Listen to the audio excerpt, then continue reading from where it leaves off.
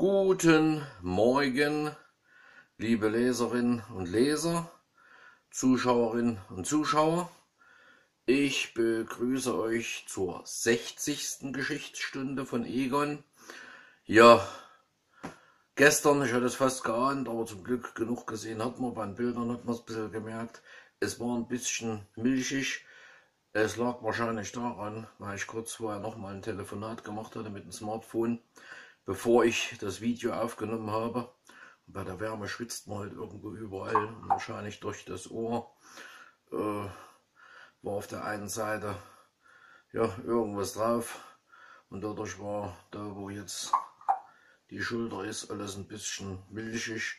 Ich habe es dann auch gesehen, dass man im Video die Blume hinten gar nicht richtig erkannt hat. Heute ist sie wieder scharf. Heute sind alle Optiken geputzt und sauber. Ja, und da wollen wir mal zur 60. Geschichtsstunde kommen.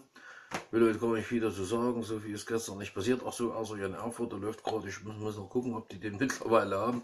Ein litauischer Messerstecher rum, der seine Ex entführt hat und dabei noch unterwegs dann abgestochen hat. Ja, die tollen Errungenschaften der bunten Welt sind auch in Erfurt angekommen. Also gestern Nacht haben sie noch gesucht und ich habe immer noch mal so bei Hubschrauber rumfahren oder rumfliegen hören. Ja, wie gesagt, ich muss noch mal schauen. Also, ich habe noch gar nicht geguckt, weil ich habe jetzt erst mal drei Stunden, vielleicht habt ihr das gemerkt, im Verkehr kommen. Ich habe es äh, mal drei Stunden jetzt mich hingelegt und geruht, weil es nicht mehr ging. Irgendwie war um sieben fertig, so halb acht rum irgendwie. Und dann habe ich gedacht, komm, jetzt hast du dich ein paar Stunden aufs Ohr. Ja, los geht's mit der 60. Geschichtsstunde. Erstmal noch mal kurz schauen. Ja, gestern hatten wir als letztes das Thema purer Kapitalismus in den USA durchgenommen, in den Zeiten des ausgehenden 19. Jahrhunderts. Und heute geht es gleich mit was Interessanten für die Frauen weiter. Und zwar gleich am 1. Januar 1872 Regelung für Abtreibungen. Das in Kraft tretende Strafgesetzbuch für das Deutsche Reich in Klammern (RS TGB) Klammer zu, enthält Bestimmungen zum Schwangerschaftsabbruch. Im Paragraph 218 heißt es dazu: Eine Schwangere, welche ihre Frucht vorsätzlich abtreibt oder im Mutterleibe tötet, wird mit Zuchthaus bis zu fünf Jahren verurteilt sind mildernde Umstände vorhanden, so tritt Gefängnisstrafe nicht unter sechs Monaten ein.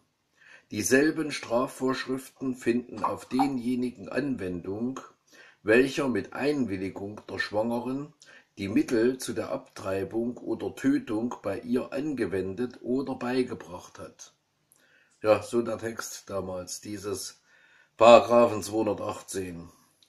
Die Abtreibung wird damit als Tötungsverbrechen gegenüber dem ungeborenen Menschen definiert.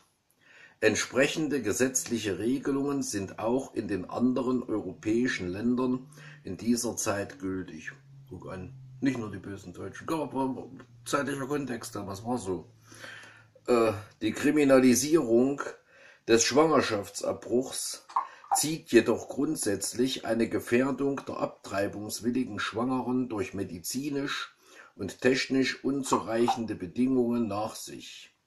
Trotz des Siegeszugs der Antisepsis und Asepsis gegen Ende des 19. Jahrhunderts sind die illegal vorgenommenen Abtreibungen häufig mit zum Teil tödlich verlaufenden Infektionen verbunden.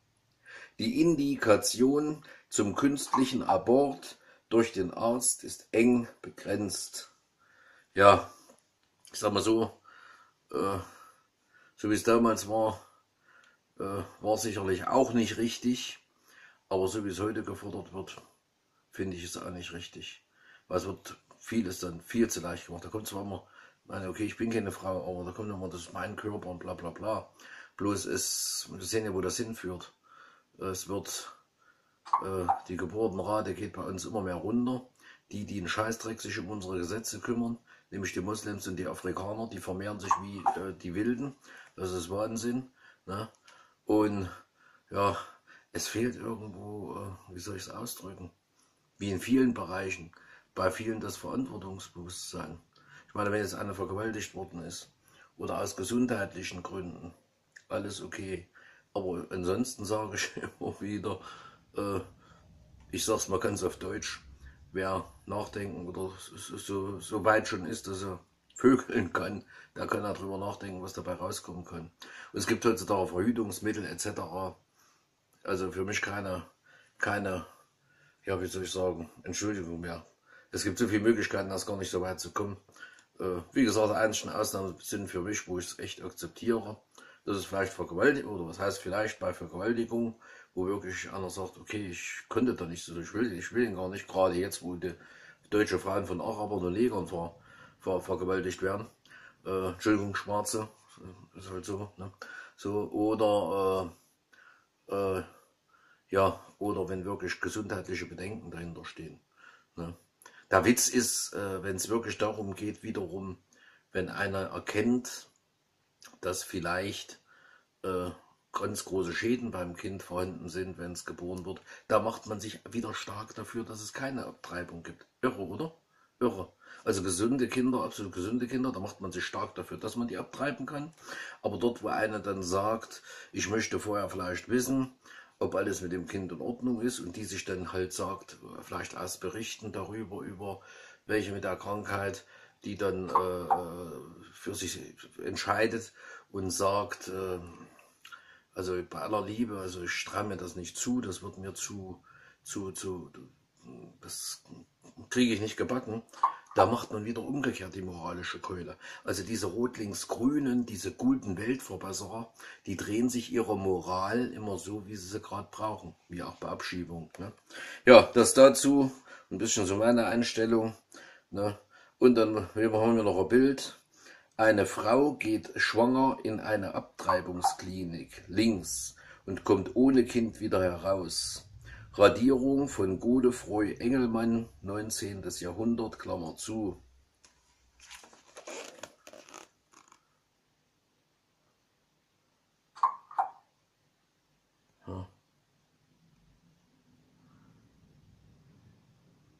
So sah das in Augen der Leute damals aus. So, weiter geht's mit dem 11. März 1872. Staat beaufsichtigt alle Schulen.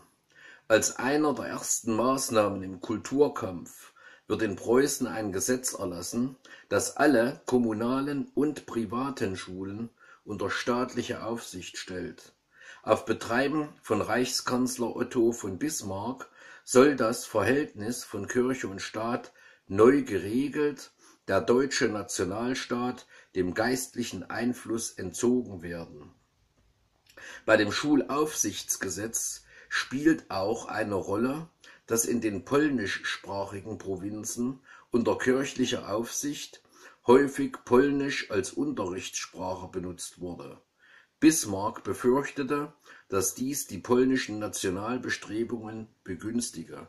So, ach da war Preußen super, super, ja, wie soll ich sagen, zukunfts, ja, vorausschauend und, und viel weiter als wir heute. Wir machen wieder, wie jetzt in Niedersachsen, in Gifhorn, glaube ich, christlich-muslimische Kitas, dann äh, kirchliche Schulen. Also da bin ich ganz glatt und klar, äh, um einen Menschen zu erziehen, dass er was lernt, dass er was Anständiges aus ihm wird. Da brauche ich keinen kirchlichen Unterricht, nicht einen einzigen. Und ob ich irgendwo mich für eine kirchliche Konfession entscheide oder mich dafür interessiere, das ist Aufgabe der Kirchen. Und dafür haben die so Gebäude, die nennen sich sogar Kirche, ne? so und Dome. Dort können sie die Leute dorthin einladen und ihre Ideologie den Leuten beibringen. Und sofern diese Ideologie nicht dazu bewegt wird, wie das bei den Moslems der Fall ist, eine neue Weltordnung bei uns oder eine neue Gesellschaftsordnung äh, zu installieren und sich in die modernen Errungenschaften unserer Gesellschaft reinzumischen, können die dort machen, was sie wollen. Aber in den Schulen hat Kirche, Religion null zu suchen. Außer noch im Geschichtsunterricht, wo das mit eingebaut werden kann, damit man darüber erstmal informiert wird, was es überhaupt für Religionen gibt. Ein paar Grund, ein paar äh, Grundbegriffe, äh, grundlegende Wissensbereiche. Aber im Großen und Ganzen lehne ich das komplett ab. Und da weiß ich, dass auch bei der äh, AfD verschiedene Meinungen gibt. Also eine moderne Stadt hat nichts mit Religionsfreiheit verbieten oder sonst. Du draußen kann jeder machen, was will. Ne? Wenn in seinem Kopf denkt, ich bin ein Katholik und will halt total puritanisch wie ein Katholik leben, dann muss es halt tun. Aber in der Schule hat auch dieser Genderismus, diese neue Religion, der, der Rot-Links-Grün, das ist ja fast schon wie eine Religion, nichts zu suchen. Überhaupt nichts. In der Schule soll man lesen, schreiben und, und, und, und, und rechnen lernen. Und äh, Naturwissenschaften, die richtige Geschichte und nicht nur zwölf Jahre und vielleicht noch auf politisch, ideologisch getrimmt, um die Leute. Nee, die Leute sollen Wissen lernen und nicht glauben. Dafür ist eine Schule da. Wissen. Wissen anzueigen und nicht Glauben anzueigen. Dafür gibt's die Kirchen. Ne?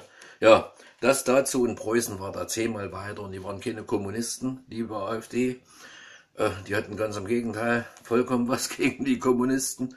Und trotzdem waren die fortschrittlicher als jeder Kommunist und jeder Sozialist und jeder Grüne und jeder, der da heute hier rumläuft und Leuten was erzählen will von ewig Gestrigen.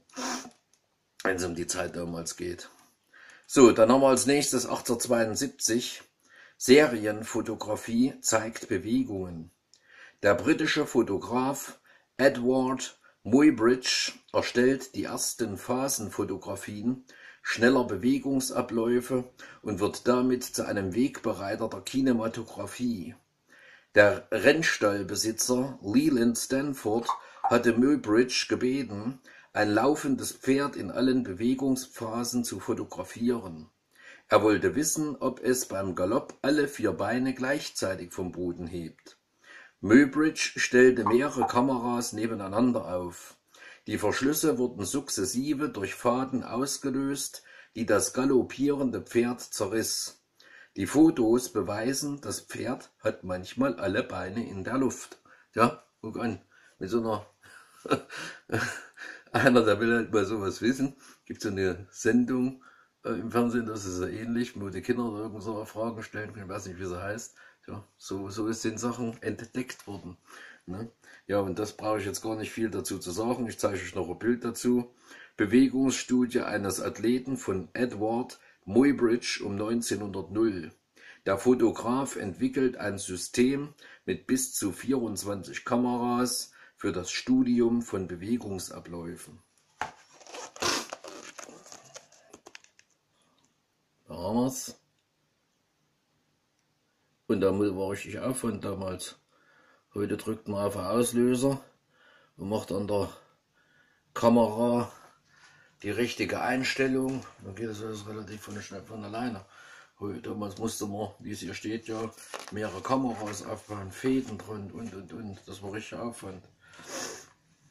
Ja, weiter geht's. Muss ich mal kurz schauen wegen Randbemerkung. Hier gibt es kein Datum. Und hier, ja, die kommt vorher. 18. Juli 1872. Nach dem Tod des Präsidenten Benito Juárez García übernimmt Sebastián Lerdo Tejada die Amtsgeschäfte in Mexiko. Juárez war durch seinen erfolgreichen Kampf gegen das von Frankreich erzwungene Kaiserreich zum Volkshelden geworden. Und die ehren ihrer Volkshelden heute noch und tun sie nicht als böse Preußen hinstellen. 7. August 1872 Baubeginn des Gotthardtunnels. Der Genfer Ingenieur und Bauunternehmer Louis Favre erhält den Zuschlag für den Bau des Gotthardtunnels. Damit kann das ehrgeizige Projekt einer Bahnlinie zwischen Basel und Mailand begonnen werden. Das internationale Interesse an der Gotthardbahn zeigte sich am Echo auf die Einladung des Bundesrats zu einer internationalen Gotthard-Konferenz. Bundespräsident Emil Weltli konnte am 15. September 1869 Vertreter des Norddeutschen Bundes, Württembergs, Badens und Italiens begrüßen. Die vorgesehene Streckenlänge einschließlich der Zufahrtslinien beträgt 287 Kilometer. Die maximale Steigung beläuft sich auf 25 bis 26 Promille und der engste Kurvenradius auf 300 Meter. Herzstück und zugleich schwierigster Bauabschnitt ist der rund 15 Kilometer lange Tunnel zwischen Göschenen und Airolo. Im Bauvertrag kommen beide Seiten überein, dass Faver in acht Jahren den Gotthardtunnel bauen soll. Faver trägt sämtliche Risiken, auch für die aufgrund unvorhergesehener Ereignisse entstehenden Kosten muss der Unternehmer aufkommen. Tja, so war das damals. Acht Jahre muss das Ding fertig sein. Und wenn du mehr Geld verbrauchst, als du uns vorher verraten hast, ja, dann ist es dein Problem. Wie ist es heute? Berliner Flughafen, wir wollten schon wieder ein neues Terminal bauen, aber das genehmigt. Es ist noch nicht mal ein einziges Flugzeug dort geflogen, wurde schon das nächste genehmigt. Da fängt man an, da kommt ein Billiganbieter nach EU-Manier, damit er mal der billigste kriegt und Ausland etc. Und international muss alles ausgeschrieben werden, da mit stümperhaften äh, Berechnungen äh, den Leuten vormacht, kostet das und das und dann fällt auf einmal schon beim Baubeginn ein, oh, ich habe da was übersehen, tut mir leid, die eine Million müssen wir oben drauflegen, ach, eine Million, eine Milliarde und dann wird das Zeug nie fertig und wenn dann danach Schäden sind, dann muss 100 Jahre drum gestritten werden, damit die Typen dann dafür noch aufkommen. Damals war es alles sein Problem. Ne? So, man sollte mal wieder ein bisschen härteres Regiment diesen diesen äh, Ingenieuren diesen Künstlern, wie zum Beispiel diesen, ach, wie, wie hieß es denn noch, letztens da wieder in Niedersachsen war der Groß aus New York, der, der Jude aus New York, der bei jedem Projekt immer billig ist am Anfang und dann wird es doppelt so teuer, ne, der die Universität da in, in Hannover ne, verunstaltet hat. Ne, ich komme jetzt nicht drauf, habe es bestimmt gelesen. Es ist unmöglich, immer wieder dasselbe. Äh, ich meine, man kann sich mal verrechnen um 10 Prozent. Ne? Aber wenn alles doppelt und dreifach zu teuer wird, die finden immer eine Ausrede. Ne? Ja, gut. So war das damals beim Gotthardtunnel. Bauen, acht Jahre. Wenn es mehr kostet, zahlst du das Pech gehabt. So, ja, das war das zum Gotthardtunnel. Und nun kommt es wieder sportlich. 30. November 1872. Fußballsport wird populär. Die Fußballmannschaften von England und Schottland treten in Glasgow zum ersten Länderspiel der modernen Fußballgeschichte an. Das Spiel endet 0:0. 1879 gewinnt England das zweite Länderspiel gegen Schottland 5:4. Wegen übergroßer Härte werden 15 Spieler von insgesamt 22 verletzt, also zugegangen. Ne? 1874 lässt sich Sam Widowson die Erfindung von Knieschützern patentieren. Sie werden von der Football Association in Klammern (FA) Klammer zu, als obligatorisch vorgeschrieben. Ja, kenne ich noch als Schiedsrichter war. Wenn die Dinger nicht dran hatten, konnten sie wieder rausgehen und mussten sich dann äh, mussten sich dann erstmal Knieschützer reinmachen. Ansonsten ging es nicht los, das Spiel für denjenigen. 1871 hatte die FA den Challenge Cup Entschuldigung, 1871 hatte die FA den Challenge Cup ausgeschrieben, den ersten bedeutenden Fußballwettbewerb. 1875 wird beim Tor die Querlatte anstelle der bis dahin üblich gespannten Schnur eingeführt. Weitere Neuerungen sind seit 1877 der von der FA verfügte Feldverweis und die 1878 eingeführte Trillerpfeife des Schiedsrichters. Der FC Accrington lässt vor dem Spiel und in der Halbzeitpause eine Musikkapelle auftreten. Ein zusätzlicher Anreiz für das Publikum, das immer zahlreicher wird. Ja, das waren die Anfänge vom Fußball. Und da konnte man, hat, war es auch schön, aber wie gesagt, so wie sich der Fußball momentan entwickelt, keine richtigen Nationalmannschaften mehr. Ich sag mal so, im Clubfußball gab es das schon immer. deswegen zum Beispiel auch Inter Mailand, internationale Mailand, weil das halt international teilweise, weil die Briten das ja damals verbreitet haben, gab es argentinische, italienische Mannschaften, die haben fast ausschließlich mit Briten gespielt. Im Club, in der Clubebene kann man es noch bis zu gewissem Maße akzeptieren, wobei ich es auch schon bedenklich finde, dass man in Dortmund, in München und sonst wo nur noch Leuten zujubelt, die eigentlich mit der Region nichts mehr zu tun haben mit der Stadt, außer dass sie einen Vertrag für ein paar Jahre gekriegt haben, um für die Stadt zu spielen. Äh, von daher, da ist es noch akzeptabel. Aber dass man jetzt selbst den Nationalmannschaftsfußball durch schnelle Vergabe von Staatsbürgerschaften kaputt macht, tut mir leid. Also es war die erste Weltmeisterschaft, äh, seitdem ich Fußball gucke, wo ich kaum ein Spiel komplett geguckt habe. Ein oder zwei habe ich komplett geguckt. Der Rest, das interessiert mich nicht mehr, ist mir zu blöd. Da brauche ich keine Nationalmannschaften und Weltmeisterschaften zu machen. Das ist alles nur noch Verarsche der Leute. Ne? Ja, haben wir noch ein Bild. Spieler des Glasgower Fußballclubs Queen's Park, der Queen's Park FC, wurde im Jahre 1867 gegründet und ist unter anderem verantwortlich für die Aufnahme von Freistößen und der Halbzeit in das Regelwerk.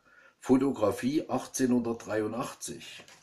Also die Jungs haben es dafür gesorgt, dass es die Halbzeitpause gibt und dass es bei Foul einen Freistoß gibt. Ja. Die Queen's Park Rangers aus London. Und jetzt will ich mal schauen, es muss ja nicht immer so lange werden. Und das Jahr 1872 ist nämlich dann schon Schluss, genau. Äh, es kommen jetzt noch zwei, äh, eine Randbemerkung, ein größeres Thema. Und dann sind wir schon durch für heute, weil ich wieder ein paar Kommentare dazwischen gemacht habe. 1872, das ist jetzt die Randbemerkung, durch einen Firmen in Klammern Erlass, Klammer zu, des osmanischen, dann ist es nicht Englisch, ist es anders, muss ich nochmal lesen, durch einen Ferman in Klammern Erlass, Klammer zu, des osmanischen Sultans Abd al-Aziz erhält Bulgarien eine autonome Kirche mit einem Erzbischof an der Spitze, der den Titel Exarch führt. Das war das, sind doch zwei Randbemerkungen, sehe ich gerade. Ja, damals war Bulgarien noch zum großen Teil Teil des Osmanischen Reiches. Noch eine Randbemerkung, Japans erste Eisenbahn nimmt zwischen Tokio und Yokohama den Verkehr auf. Erbaut wurde sie mit Hilfe britischer Ingenieure. Dort haben mal die Briten gebaut und nicht Land geklaut, wobei sie es gleich mitgemacht haben. 1872, größeres Thema nochmal, sozialpolitisches Engagement. Gustav Schmoller, Lujo Brentano, Adolf Wagner, Gustav Schönberg und andere Volkswirtschaftler gründen in Eisenach den Verein für Sozialpolitik, in dem Fall Sozial noch mit C geschrieben. Er tritt für eine Milderung der Klassengegensätze durch eine staatliche Sozialpolitik ein.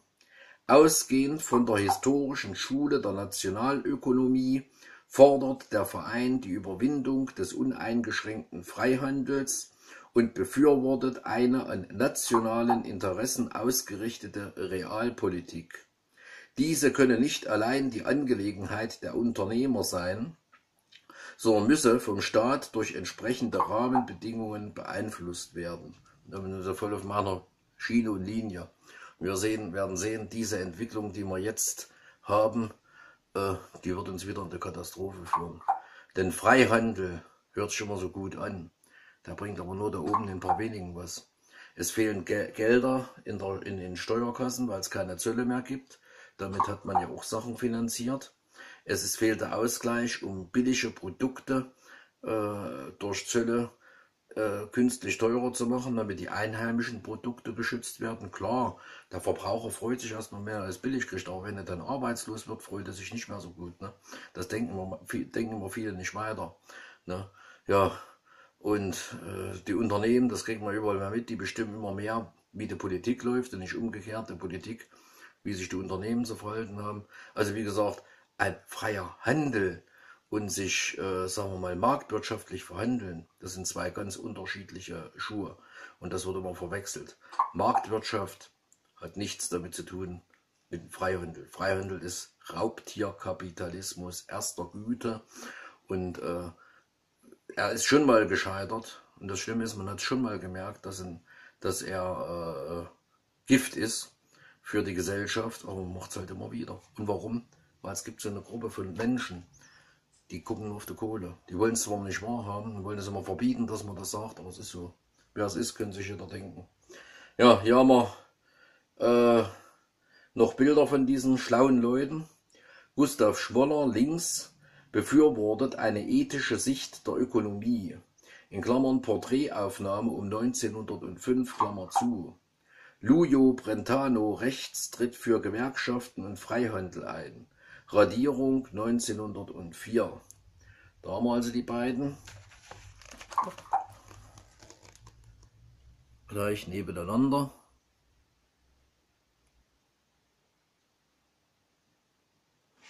So, und damit sind wir schon heute durch, weil das war das Jahr 1872. Ich hatte erst überlegt, ob ich die ersten zwei Seiten vom Jahr 1873 gleich mit reinmache. Aber muss ja nicht sein, es muss ja nicht immer 30 Minuten werden. Und zuletzt waren es immer 45. Äh, und dann hoffe ich, dass ihr wieder was dazugelernt habt. Vielleicht das eine oder andere wieder aufgefrischt habt. Ich hoffe, ich habe euch nicht zu viel kommentiert. Aber dafür mache ich es auch, wie gesagt, um ein bisschen eine Einschätzung, eine Sichtweise anregen, zum Nachdenken über die ein oder andere Sache, wie sie auch die AfD vertritt, äh, zu, äh, zu bewerkstelligen. Weil, äh, das habe ich ja damals auch in dem Interview gesagt, was ich dafür das ZDF gemacht hatte. Ich mache keine Werbung für die AfD. Es ist nur in dem Fall so, noch der Fall so, dass sie am nächsten das vertreten, was ich für wichtig halte, in den wichtigsten Punkten. Sollten sich irgendwann davon entfernen, dann muss man sich halt irgendwo umorientieren. Den Fehler, den ich damals bei der SPD gemacht habe, mache ich nicht nochmal. Dass ich nur aus parteipolitischen Gründen und weil man halt irgendeine Wahl gewinnen will, äh, mir noch drei, vier Jahre antue, Sachen zu vertreten, wo ich je, mit jedem Wort, was ich sagen muss, Bauchschmerzen habe.